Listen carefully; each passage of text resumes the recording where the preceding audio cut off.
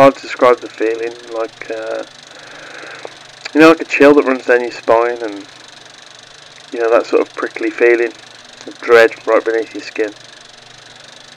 Yeah, that's what it was like when I first saw it. And it started with that whale. It washed up on our little island miles off the course.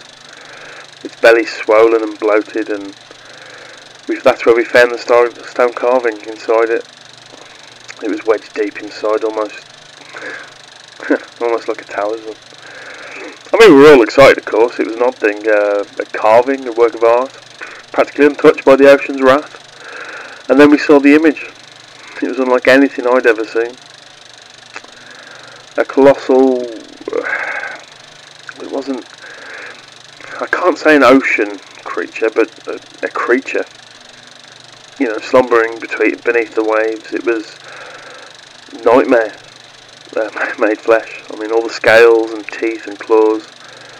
But what truly unnerved us was the, the city. It was vast, a sprawling metropolis of towers, bridges, strange cyclopean structures, all submerged beneath the ocean's depths. Old man, bless him, old man John, who uh, owned the carving, he he changed. He used to be a quiet fisherman.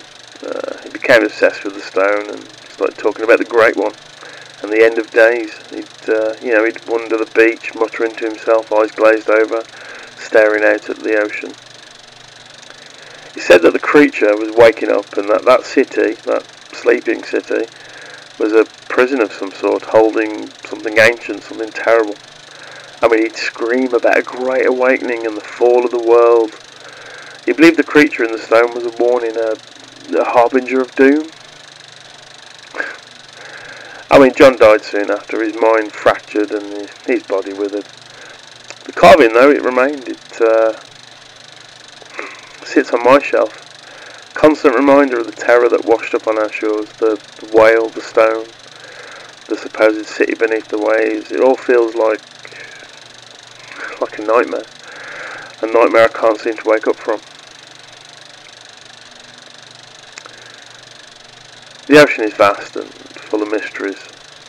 We think we know its secrets, but we're not even scratching the surface.